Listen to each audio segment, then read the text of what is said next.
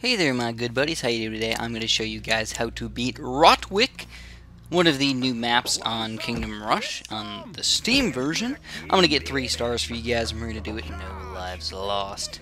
Alright, so what do you got going on here? First off, I have to explain to you guys that this is a pretty decent walkthrough, but also, obviously, you're going to need to do some stuff in between. You know, you need to use your reinforcements, you need to use your rain of fires at the same time, and even though you can put the towers in the exact same position, the gameplay will not be the exact same. At least very doubtful that it'll be the exact same. If you use your rain of fire two seconds too early or two seconds too late, to use it wrong once, it can be a completely different game. But at the same time, I really don't see you guys having very many problems. It's, it's a pretty simple map. I think, you know, once you get to level 2 and level 4 of this new series, you're actually going to have quite a bit more problems than this level.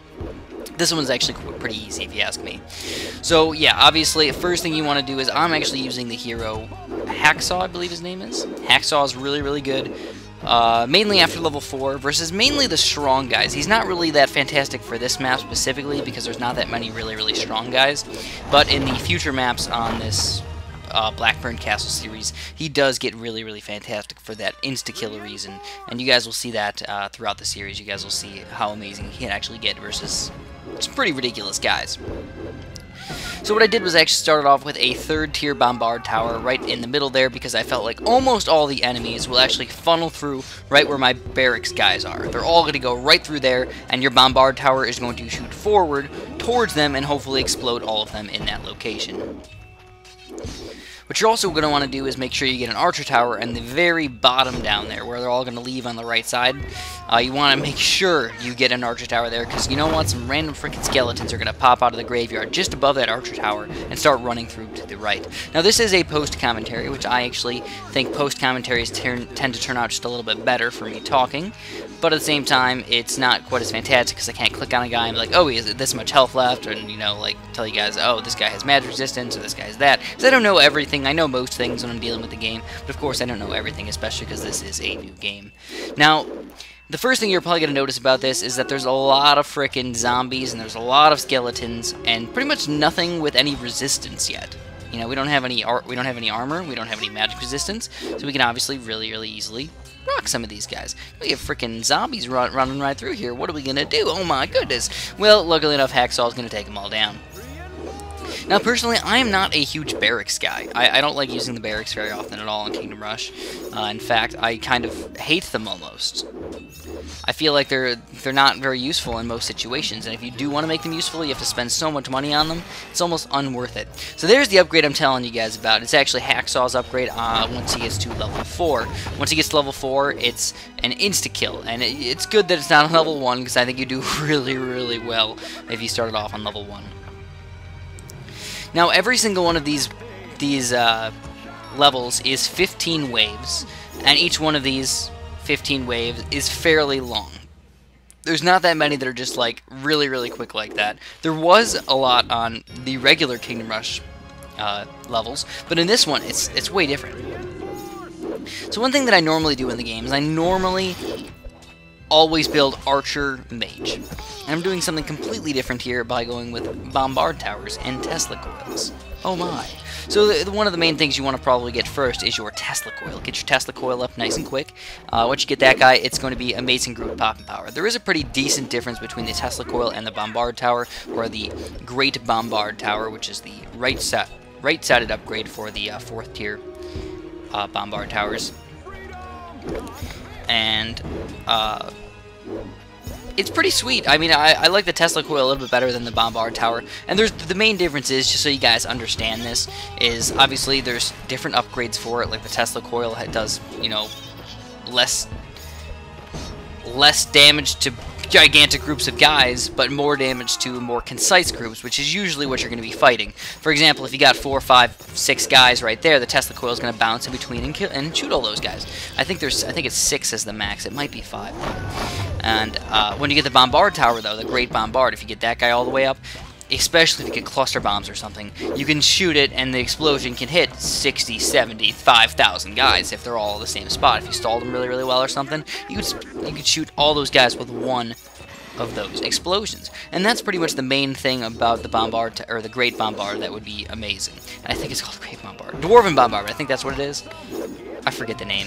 You guys know what I'm talking about, though. Just the big, the big cannon. The big cannon with the cluster bombs and dragon launchers and stuff. Uh, I'm actually more of a fr Frontiers guy. I, I, I, really haven't played Kingdom Rush in a long time. I actually just came back here so I could play this Blackburn Castle stuff. Because I know you guys wanted a quick walkthrough for these things, and I really do enjoy Kingdom Rush. So uh, I decided to come back here. I'm actually used to thinking think, thinking about things like battle mechas and stuff. Which that's one good thing about Kingdom Rush is even though it's a new game, they didn't actually go too far away from what they're normally used to because you could easily just change the game 100% and just make it completely different. They didn't do that. They kept most of the same towers, you know, all four same main towers. Uh, most of the upgrades are pretty much the exact same. You know, your magic is a little bit stronger, your archers get a little bit stronger. Fourth tier towers, pretty much the same, but a little bit different. Uh, for example, the main thing that they changed was actually the artillery towers. They made the bombard towers just, uh, uh, I suppose, a little bit better in Frontiers.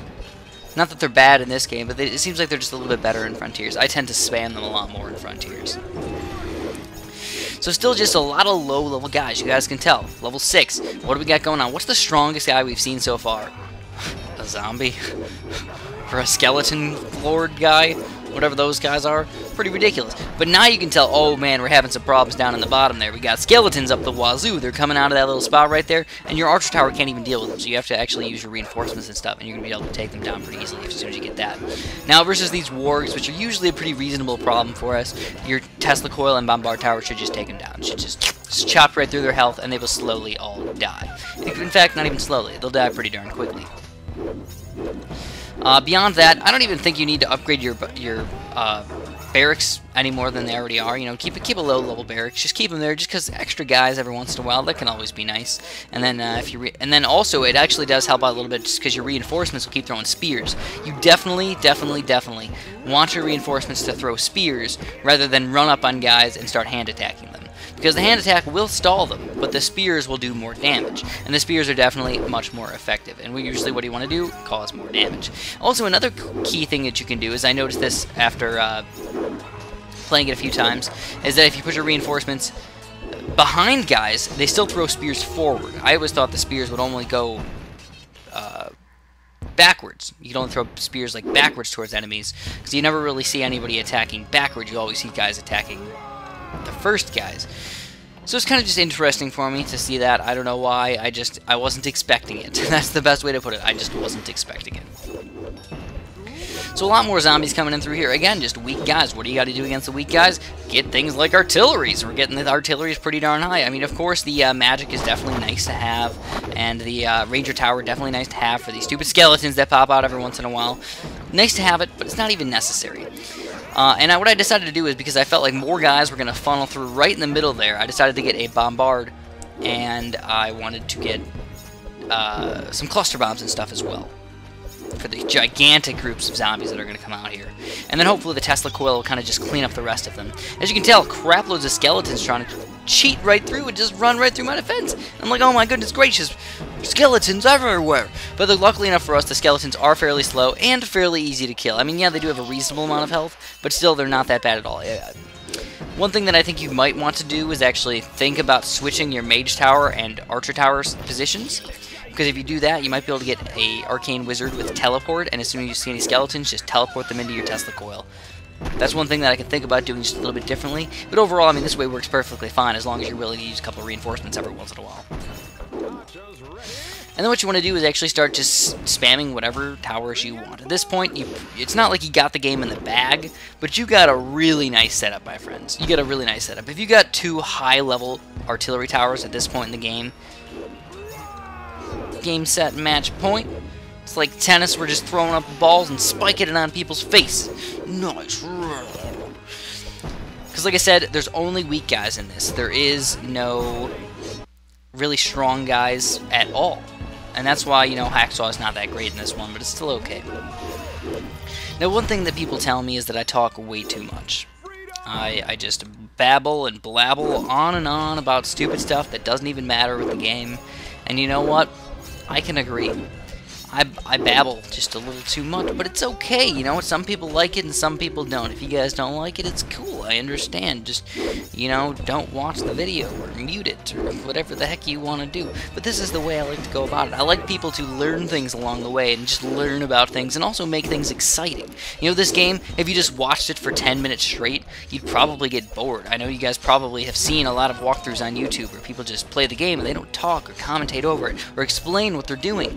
And you might just start to get bored or just skip to the end or skip to certain parts to see what towers they have where. And you're thinking that's the main thing you have to worry about. Whereas me, I'm like, no man, you gotta do this, you gotta do that, you gotta get all this junk up everywhere, and then maybe you'll learn some things about the game. Because I am I don't like to I don't like to brag by any means, but I am a pretty seasoned veteran at Kingdom Rush. I've played Kingdom Rush uh, all the way through on medium and hard, and heroic and iron challenges both on hard. Then I went to Kingdom Rush Frontiers, did every single map on there on medium and hard, and then I also did the challenges on medium and hard. So then I pretty much know what's up with the game. You know, I know how to beat most of these missions fairly easily. Uh, I, I, have noticed that this is one of the hardest games that I've played so far, and I think actually Blackburn Castle was a very good difficulty. It was really perfect. Like, uh, if I had to play it on hard, I'd, I'd have a hard time with that. But I think I could manage it. On medium, it was like getting it, you know, no lives lost was a little bit of a challenge, but once I found good tower spots and I realized, oh, I gotta use my reinforcements in a certain way and get two early artillery towers instead of just one, then I was like, oh, okay, that makes sense. Now I can actually start rocking these guys, and that's exactly what happened. We started rocking them. So once you start seeing these these guys, they come out on level 10. These are the were rats. And the were rats are actually one of the first guys that artillery does not work fantastic against. Um, they also disease your guys, so if you run up and they like start attacking your guys, they get diseased and they slowly die over time, which was actually kind of a bad move on my part. Uh, I, my original thought process was, hey, I want as much stalling power as possible right in front of that Tesla coil, so I can kill all the guys right in front of it. You know, allow my bombard tower and the Tesla coil to just do a crap load of damage. That was my original thought. And then, when I actually started playing the game, I realized that if any of the were-rats started attacking my ancient golem, he got poisoned, or whatever the heck you would consider it, and he'd slowly lose health over time until he pretty much died. And it was very upsetting to me to realize that I spent $350 on this ancient golem, and the only real reason that I got the Sorcerer's Mage was for that ancient golem. Now, of course, the Sorcerer's Mage by any means is not bad by itself, but, you know, you usually get a certain upgrade for a certain reason, and that's why I did it. I did it for the, like, fifth tier upgrades, I guess. You know, if I can go on the left side or the right side of the highest level you can get. Uh, because the Sorcerer's Mage, the good thing about them is you can actually make them...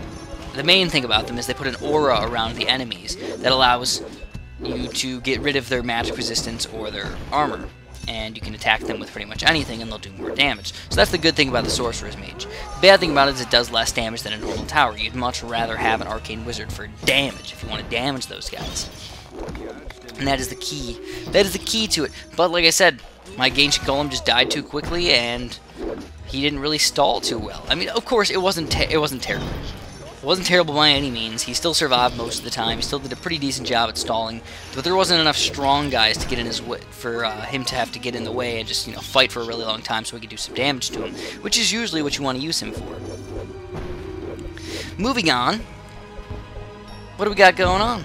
Well, I'm, I'm thinking, you know, well, we're gonna, we gotta get more bombard towers. So I got another Tesla coil on the bottom there, which I actually was thinking about getting other stuff. I wanted to get, you know, like maybe some Archer towers down there. But I said, screw it. We got such weak guys coming through here. We just need to spam the Tesla coils and spam the bombard towers, and we're good. Also, another reason why the Tesla why the Tesla coils are a little bit better than the bombards is because the Tesla coils can directly attack flying enemies, which I don't think I've seen just about any like strong or hard to kill flying enemies in uh, this Blackburn Castle. Now there are witches, but I wouldn't consider them hard to kill.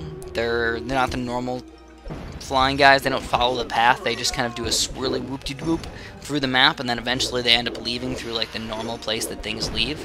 But it was just weird to see the witches because they, they didn't really attack in the same way that they normally do. They don't kill your guys. They stop to shoot a, shoot a little magic bolt at them. They turn them into frogs. What the heck, man? Why are these witches turning my people into frogs? It's not cool, bro. It's not cool at all. Some more skeletons and stuff, no big deal. Actually, whoa, look at all those skeletons on the top there. That is a lot of skeletons. But when you actually think about it, you're like, oh, you have three bombard towers? You're going to take them down. You're going to take them down really, really, really, really, really, really easily. What else could we do? Could we get some, uh, some uh, cool stuff over here? Yeah, I mean, I suppose we could if we want to. We can get like this healing aura or, um, you know, maybe even get this upgrade as well, the Shields of Valor, or even the Holy Strike if we want to. The Holy Strike's kind of cool, but I don't even really think we need it. Plus, we didn't have the gold at the moment, so who cares? Actually, this is kind of a good upgrade to get, is the Wrath of the Forest. That'll actually help versus the Scorpion, not Scorpions, the Skeletons quite a bit, because the Skeletons will get stopped in the range of that guy. And it also hurts them a little bit, by the way. You know, big groups of guys. Uh, the Wrath of the Forest is kind of good. It's kind of like a mini Bombard Tower. It does like a pretty decent amount of damage to those guys, and it also stalls them for a few seconds. So if you got a little bit of extra time to attack things, it's always a good way to kill things. Always. But you can tell with all these Skeleton Knights, you'd think that they get a little bit further than they are, but nope, absolutely not. And we're just going to say, you know what, we're going to probably just what, Rain of Fire them and start the next wave? Or do we even need to use the Rain of Fire? No, we don't even need the Rain of Fire. These, these Skeleton Knights are so easy to kill anyways. I was actually not thinking that billions of rats were going to come pouring out so quickly, though. That was definitely a surprise. But rats are so easy to kill in this game. Honestly, they're not bad at all. Except, except when you see them on level 1 really, really quickly, and you don't have any uh, good arch towers or anything, you're probably going to get close to losing life. They're, they're reasonably quick, and that's probably the biggest problem with the rats. Reasonable amount of health, reasonably quick. They're kind of like a wolf, but a little bit stronger, I suppose. Alright, still more were rats. We're already on round 14 to 15. Wow, guys, and we're not really having any problems at all, are we? We haven't seen any guys even get remotely close to the end. I agree. You know, you always think, you always want to think, okay, not only do I have the spot beyond the beyond the Sorcerer's Mage and like that location, I also have the Ranger's Tower, but then you also have like a really solid little lane there where you can easily build reinforcements or even move your hero over there to help stop these guys easily do that. But we're just stopping them in their tracks. They're not even getting remotely past like the middle of where I thought they, that they might want to get to. And a third Tesla coil is going to indeed come out. The Tesla coil is cool as well because you can also get quite a bit of range on it. It can actually like attack out of its range. That's kind of cool. As long as there's guys within its range, it can spark to different guys. And with wave 15, let's just send it right out. Who cares, man? Just take them all down. See, there's probably a lot of things popping out of a lot of random areas. And that's one thing that I've noticed that they did really well with Blackburn Castle and uh, the four four levels, is that they didn't just make it so guys popped out of one area or two areas or maybe even three areas. They made it like eight or ten areas. I don't even know how many they could possibly come out of this level, but it's a lot. It is absolutely a lot. The only thing I'm glad is they don't put anything like out of the range of your towers. Like if they had like, uh, see that little house on the bottom right? Kind of near where the uh, blue flags are. If they had guys popping out of there and I'd use reinforcements on them, I'd be I'd be angry. I'd be angry that they did that to me, because that would just be really annoying to have to do that. And if I lost a life because of that, it'd be very upsetting. Uh, but even these skeletons are a pretty big problem as well. You know, those guys themselves are already bad enough. So, oh my goodness, were rats, ridiculous were rats. Are we going to be able to take them down? Well, actually, not as well as you might think. You know, we actually had a couple guys almost leak through here, but luckily enough for us, we had a Rain of Fire, and there's going to be a few guys left that we are going to take down, and we should end up winning this game. There actually might be a few more. Yep, there they are. More were rats, but at this point in the game, who cares, broskies? Who cares? The reason why those were rats actually got through was actually because they diseased all my guys, not because they even were even strong enough to actually kill them. They just diseased them, and then they slowly die over time, which is kind of upsetting. More skeletons, more a little few rats to clean up, and we are going to take this game, my friends. Pretty darn easy. I mean, overall, a good starting difficulty for the map. You know, you gotta get you gotta get used to the game, and you get into the game, and then just slowly you'll start winning. So one, two, and three stars. That's all I'm gonna have for you guys today. Hopefully you enjoyed. As always, thanks for watching, and if you haven't subscribed yet, oh my God, do that right now. Why the heck haven't you? Have a delicious day.